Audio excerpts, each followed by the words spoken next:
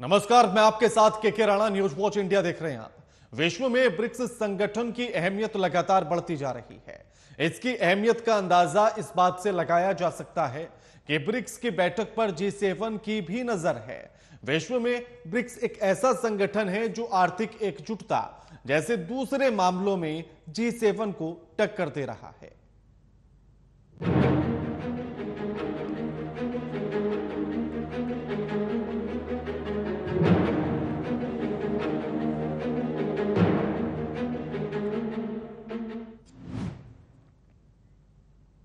दक्षिण अफ्रीका में ब्रिक्स देशों का शिखर सम्मेलन चल रहा है। सम्मेलन में आर्थिक गतिशीलता, जलवायु परिवर्तन जैसे मुद्दों पर चर्चा हो रही है। इस बैठक पर पश्चिम देशों की भी नज़र है।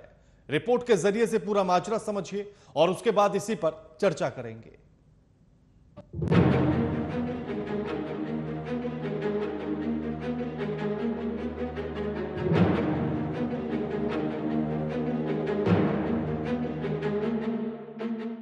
ब्रिक्स विकासशील और विकसित देशों का विश्वसनीय संगठन बन गया है।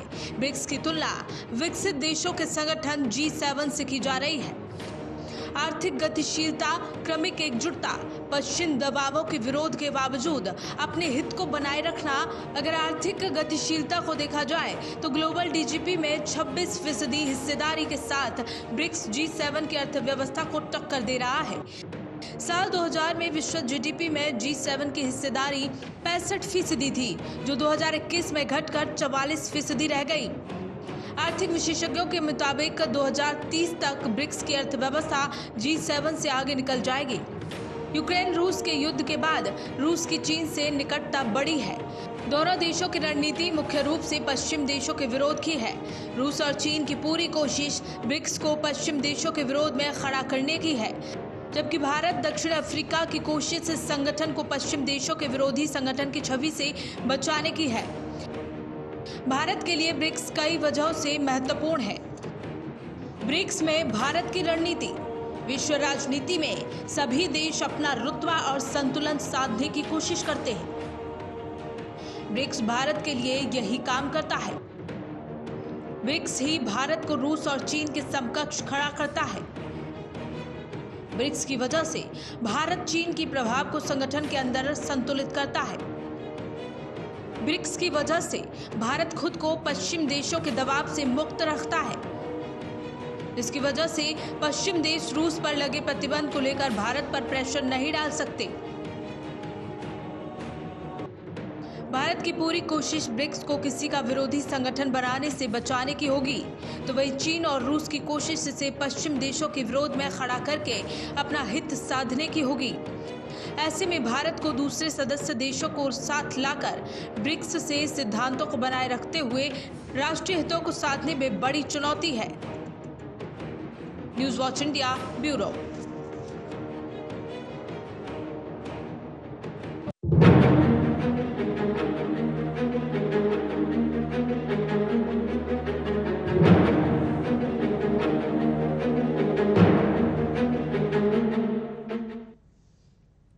BRICS शिखर सम्मेलन को लेकर भारत की रणनीति क्या है? और आगे भारत, ब्रिक्स इस संगठन, इस सम्मेलन के साथ साथ कैसे आगे बढ़ता जा रहा है? ऐसे मुद्दों पर आज हम चर्चा करेंगे। हमारे साथ जो मेहमान जुड़ गए, उनका परिचय आपसे करा देते हैं। हमारे साथ सुरेश कुमार गोयल हैं, जो पूर्व राजनायिक हैं, और रोबिंद्र सचदेवा है फॉरेन एक्सपर्ट हैं। आप दोनों का स्वागत है न्यूज़ वॉच इंडिया पर। सुरेश जी जिस तरह से प्रधानमंत्री ने भाषण दिया साथ ही ब्रिक्स के विस्तार की बात की और उसमें भारत को बढ़त भी मिली। किस तरह से इन चीज़ों को देखा जाए? आ, नमस्कार।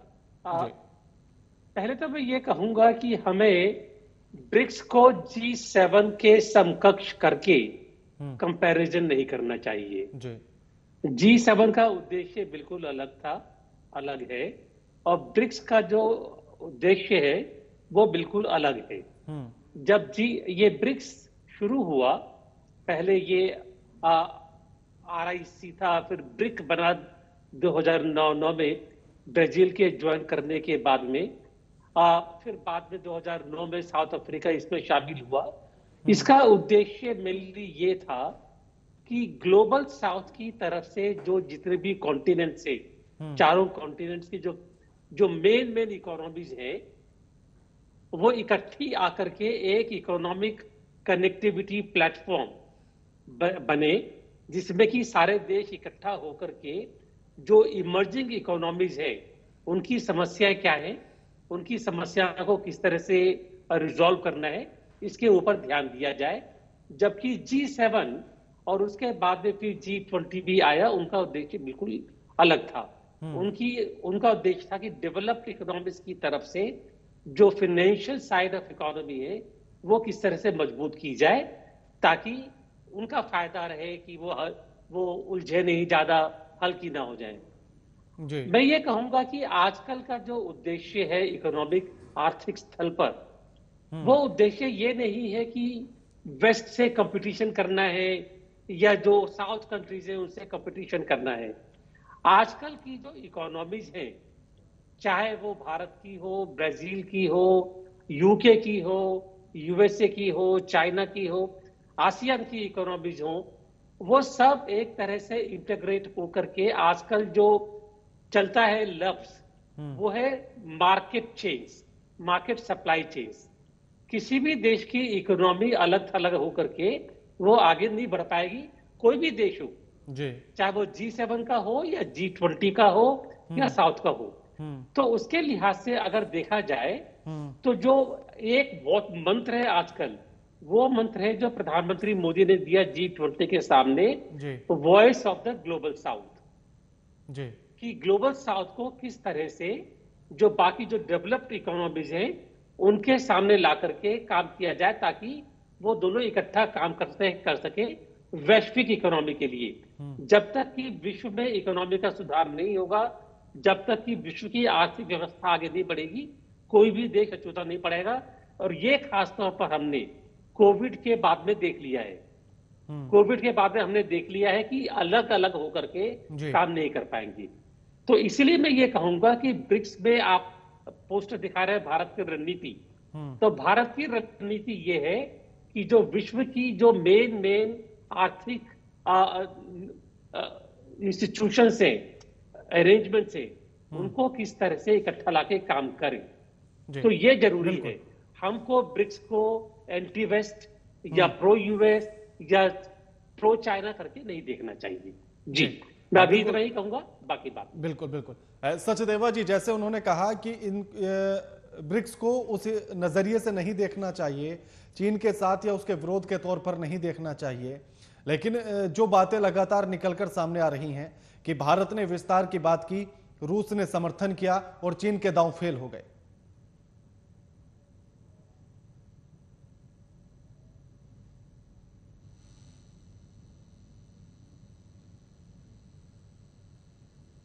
बिल्कुल।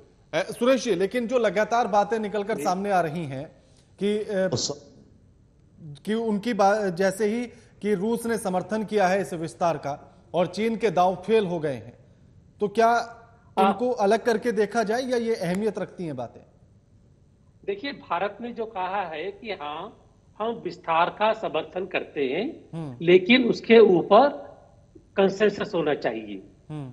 हमारा शुरू से ही एक आ, हमारा जो अप्रोच रही है वो ये है कि हम ब्रिक्स के समर्थन एक्सपेंशन का विस्तार का समर्थन करते हैं हम्म। लेकिन विस्तार के लिए एक गाइडलाइन होना चाहिए एक सिस्टम होना चाहिए। हम्म। ये नहीं कि हम पाँच देश है कल पंद्रह देश आते हैं कि हमको मेंबर बन रहा है चले भी आप भी आ जाइए। हम्म। ये नहीं कि फिर बाद में बीस आते हैं कि आप भी बन जाइए। ये जो रैंडम ग्रोथ अगर होती है उससे कोई किसी का मकसद हल होने वाला नहीं है। हम कहते हैं एक्सपैंड करें लेकिन एक्सपैंड करने के पीछे कोई एक पर्पज होना चाहिए। हम्म, बिल्कुल। कि हम इसलिए एक्सपैंड कर रहे हैं जब तक पर्पज नहीं बनता है गाइडलाइन नहीं बनती है और तो उसका कोई मतलब नहीं बनता है और जो आपने कहा कि रूस ने समर्थ रूस ने प्रस्ताव रखा भारत ने समर्थन कर दिया चीन पीछे हट गया हम्म। मेरे को तो ऐसा नहीं लगता है बल्कि मुझको तो ऐसा लगता है कि जो समर्थन के पीछे ज़्यादातर हाथ चीन का ही है और रूस साथ में है उसके हम्म। क्योंकि चीन चाहता है कि शांघाई कोऑपरेशन ऑर्गेनाइजेशन की तरह जी ये भी जो संस्था बनती है ब्रिक्स वो एक चाइना सेंट्रिक संस्था बन जाए तो उसमें उसके जितने समर्थक होंगे उसके लिए तो अच्छा ही है ये। जी। तो मुझे नहीं लगता कि चीन पीछे हट गया जी। चीन गेम खेल रहा है चाहे अपना वो दिखा नहीं रहा हो लेकिन चीन का गेम यही है कि इसमें इसके समर्थक जितने देश आ जाए वो अच्छा है। ठीक। ए, सचदेवा जी क्या यूँ कहा जाए जिस तरह से अभी सुरेश जी ने बताया कि इसको चीन का पीछे हटना नहीं चीन गेम खेल रहा है इस तरह से देखना चाहिए? Thank you. A pleasure and honor with you and Ambassador Goel.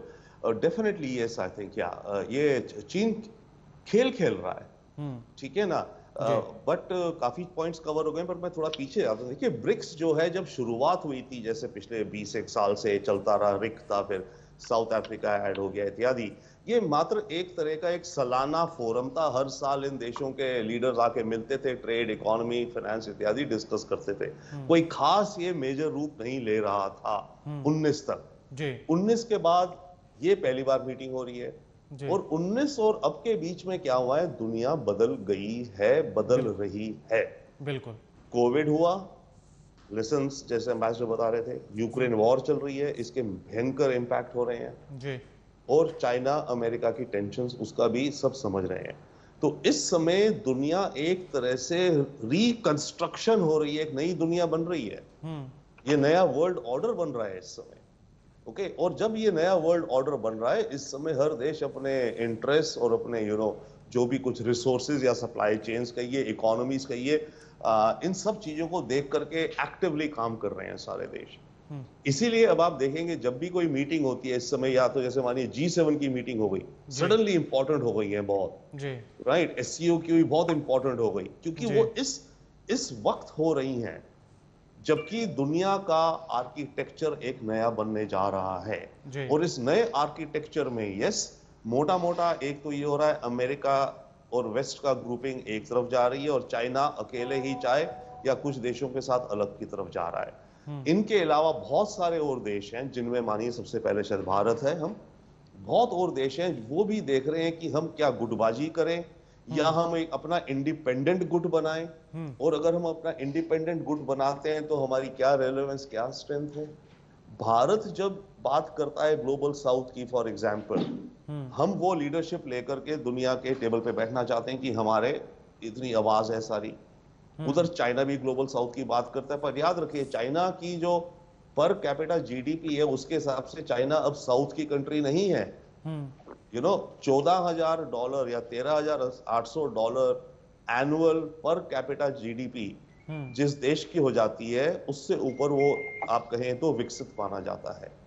Okay China तो विकसित पे आ गया फिर। तो चाइना तो ट्रू लीडर नहीं हुआ ना ग्लोबल साउथ का और चाइना खुद ही इतना बड़ा है। तो यहाँ पर जो ब्रिक्स की अभी एक्सपेंशन की भी बात हो रही है ब्रिक्स के ओके अब ये जब नई दुनिया बन रही है ब्रिक्स क्या कर सकता है? ब्रिक्स के बाद बहुत अच्छी अपॉर्चुनिटी है और भारत उस अपॉर्चुनिटी को को क्रिएट करना चाहता है क्योंकि हम चाहते हैं कि हमारे जो विचार हैं दुनिया के बारे में वो ब्रिक्स के द्वारा दुनिया में इन्फ्लुएंस करें। और जैसे भी एम्बेसडर भी बता रहे थे ब्रिक्स में एक जो मेन चीज़ है कि ये पाँचों मेंबर का इक्वल कंसेंसस है। जी। या आप उल्टा मान लीजिए कि अगर कोई एक मेंबर नहीं मानता तो वीटो है। उल्टा हम कर लें ठीक है ना? तो कोई भी जो चीज़ होगी ब्रिक्स में उसमें हमारे पास वीटो है। बट हम ये कंट्रीब्यूट करना चाहते हैं देखना चाहते हैं कि मिडिल पाथ रहे।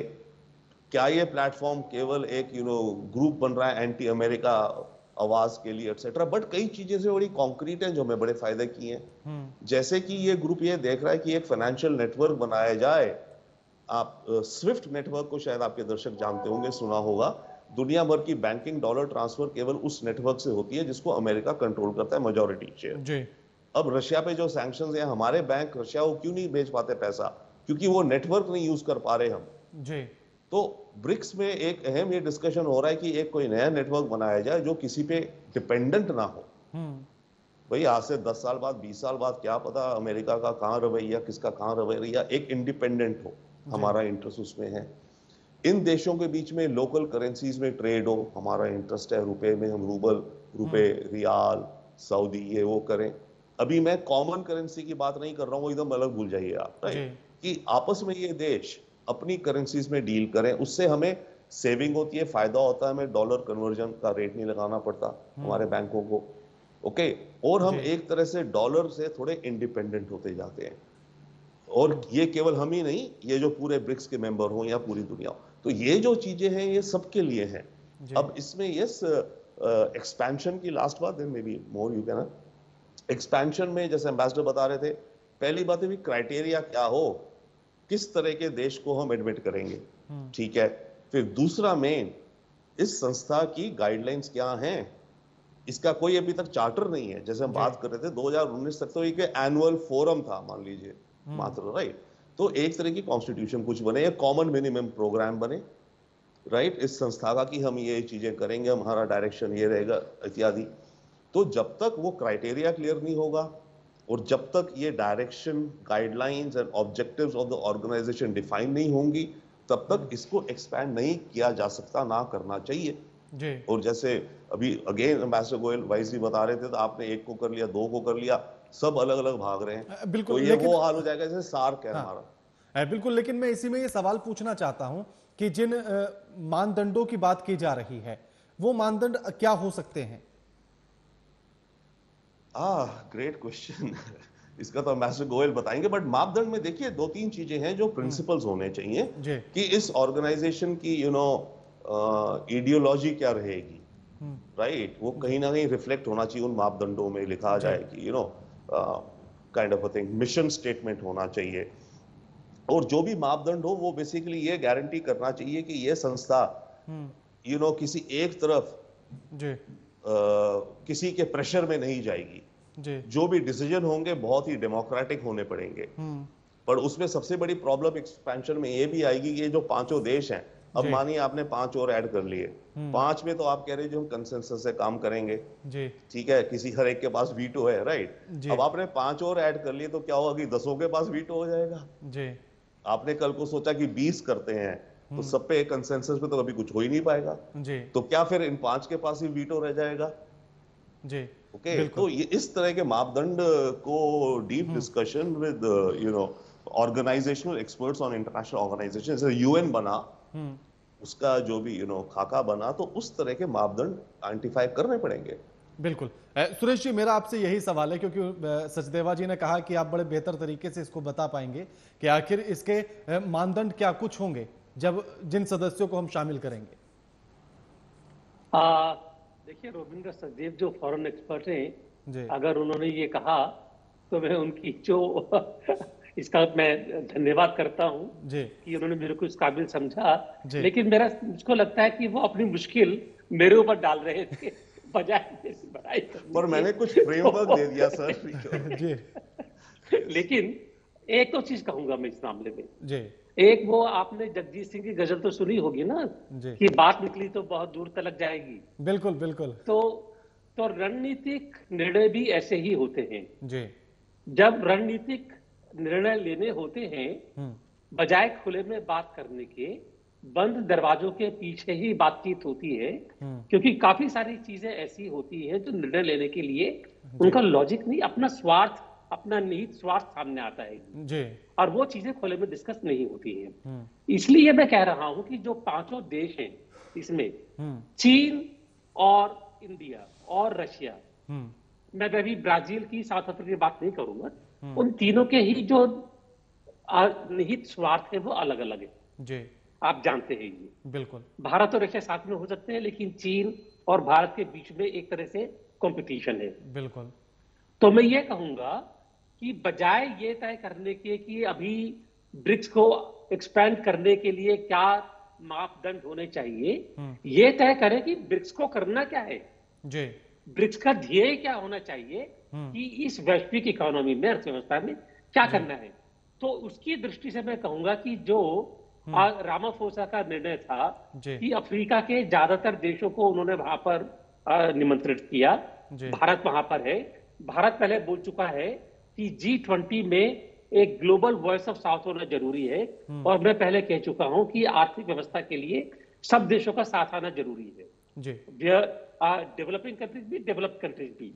तो ये अच्छा निर्णय है कि एक तरह से जो अफ्रीकन कंट्री जिनकी मेजोरिटी है और जिनको एक विकास की बहुत ज़्यादा ज़रूरत है वो और जो बाकी देश है उनके बीच में एक संवाद हो वाद विवाद हो देखें कि आर्थिक व्यवस्था में क्या करना चाहिए ताकि जो डेवलपमेंट है वो इक्विटेबल हो।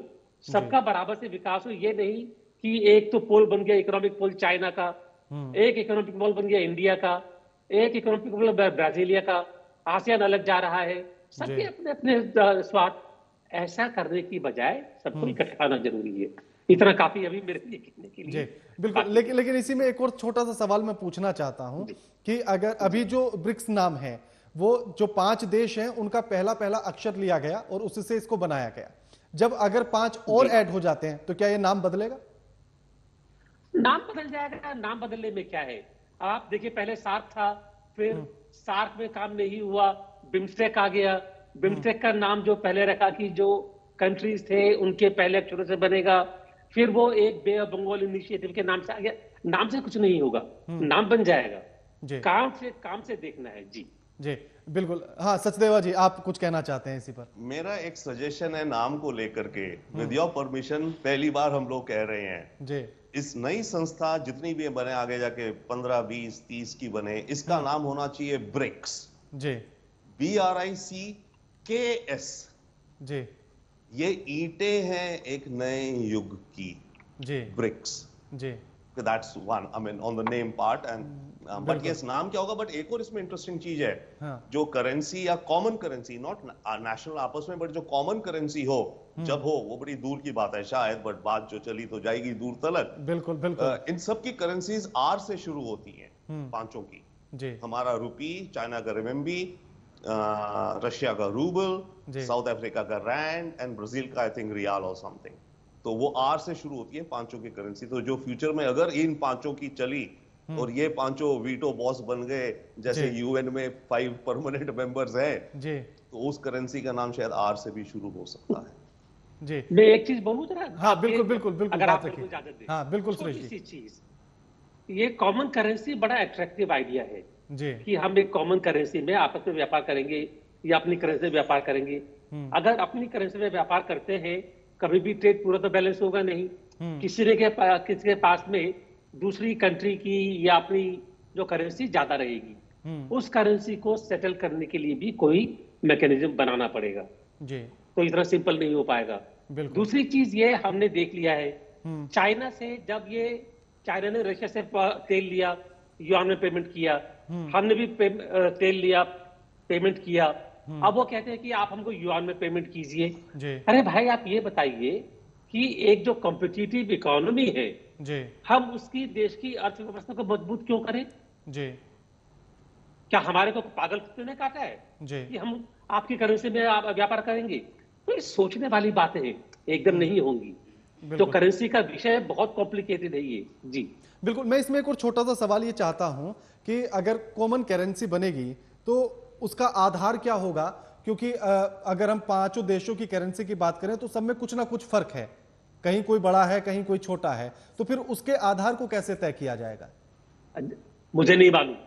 इसीलिए मैं कहता हूँ कि बहुत कॉम्प्लिकेटेड है ये। जी। ऐसे इस तरह से काम नहीं बनेगा सोचना पड़ता है हर एक चीज़ के बिल्कुल, बारे में। बिल्कुल, बिल्कुल। इतना आसान नहीं होगा बिल्कुल सचदेवा जी अगर आप इस पर कुछ बता सके तो। इसमें दो तीन चीज़ें हैं बहुत ही क्रिएटिव डिस्कशन हो रहा है thank you for hosting it in such a manner you know okay देखिए कॉमन करेंसी सी की जो बात है वो दूर है अभी है नहीं हम्म। और उसमें बहुत बड़े चैलेंजेस है। सबसे बड़ा जैसे एम्बेसडर ने बताया कि एक, एक बैंक नया बनाना पड़ेगा सेटलमेंट्स का। जी। एक नया सेंट्रल बैंक बनेगा हम्म। राइट तो वो बहुत दूर है अभी ओके अब ये करेंसी चाहे तब जब भी बनेगी इसका क्या हो सकता है सिस्टम अगर बनी तो इसका मैं आपको एक कॉन्क्रीट फॉर्मूला दे सकता हूँ। जी। इसका एक फॉर्मूला ये हो सकता है या डिस्कशन कुछ और भी हो जी। वेटेज होगी। जी। तो जैसे 40 परसेंट वेट होगा मानो युआन का 30 परसेंट होगा रूपी का जी। 20 परसेंट रूबल का ये वो करके ये वेटेड करेंसी बन सकती है वो एक अप्रोच हो सकती है फ्यूचर में राइट बट उससे भी पहले फिर अभी ये जो पूरे इंस्टीट्यूशन मैकेनिज्म बनाने पड़ेंगे तो कॉमन करेंसी की बात अलग गई। अब बात आई है नेशनल करेंसीज में लोकल ट्रेडिंग आपस में। एब्सोल्युटली यस yes, हम चाहते हैं हो बट हम प्रॉब्लम फेस कर रहे हैं। जी। हम रशिया के साथ जो रूबल ट्रेड कर रहे हैं हम्म। इसमें आई थिंक हमारा 45 बिलियन है हम रशिया से करीब 40 बिलियन इंपोर्ट किया और 5 बिलियन हमने एक्सपोर्ट किया है। जी। हमने रशिया को अभी करीब 30 बिलियन डॉलर देने हैं। हम्म। जो कि रशिया कह रहा है मुझे रुपए नहीं चाहिए। जी। ओके रशिया कह रहा है मैं रुपए से क्या करूँगा मैं क्या खरीदूँगा रुपए से? जी। तुम मुझे या तो युवान दो या आप मुझे अब ये दिरहम दो यूएई का। जी। क्योंकि उन धर्म से और युवान से मैं इंटरनेशनल मार्केट से मैं कुछ खरीद सकता हूँ। आपके रुपए मेरे लिए किसी काम के नहीं है। ये हमारा रुपी रूबल ट्रेड अभी फंसा पड़ा है सर जी हाँ इसीलिए मेरा ये सवाल था बिल्कुल। एग्जैक्टली नो एग्जैक्टली ये ट्रेड फंसा हुआ है। छह महीने से बातें हो रही हैं। लास्ट राउंड जो टॉक हुआ है उसके बाद हुआ शानो उसमें दोनों ने हाथ खड़े कर दिए हैं। इंडिया ने भी रशिया ने भी। जी। रशिया कह रहा है होगा होगा पर हो नहीं पा रहा है। इंडिया भी कह रहा है। तो even bilateral trades as again ambassador goel was saying and we are all saying जी। लोकल करेंसीज में बायोलैटरल ट्रेड में भी बड़े चैलेंजेस हैं तो उनको पहले सुलटाना पड़ेगा। बिल्कुल बिल्कुल। देन ये नेशनल करेंसी की बात एकदम मतलब कॉमन करेंसी लाइक यूरो बन जाए वो बहुत दूर की बात है फ़िलहाल। बिल्कुल। शुक्रिया आप दोनों का बड़ी अच्छी बातचीत और चर्चा ये आज हुई इसके लिए शुक्रिया और अपना समय देने के लिए शुक्रिया। लेकिन अब ऐसे में सवाल यही है कि ब्रिक्स सम्मेलन का आज आखिरी दिन, और इसी के साथ अब देखना यह होगा कि आखिर क्या कुछ इसमें तय होता है। पाँच देशों को, जो अन्य पाँच देशों को अभी जोड़ने की बात चल रही है, उसके विस्तार पर बात चल रही है। और साथ ही बात यह भी चल रही है कि इनके लिए कुछ ना कुछ मापदंड तय होने चाहिए। तो आखिर वो मापदंड क्या निकल कर आते हैं, या फिर जिस करेंसी को लेकर हम बात कर रहे थे, उसको है तो दूर की बात लेकिन सवाल यही है कि आखिर उस पर जब सहमति बनेगी तो कॉमन करेंसी के तौर पर क्या कुछ निकल कर आएगा और क्या देखने के लिए मिलेगा यह भी देखने वाली बात होगी। फ़िलहाल इतना ही। लगातार खबरों के लिए देखते रहिए न्यूज़ वॉच इंडिया। नमस्कार।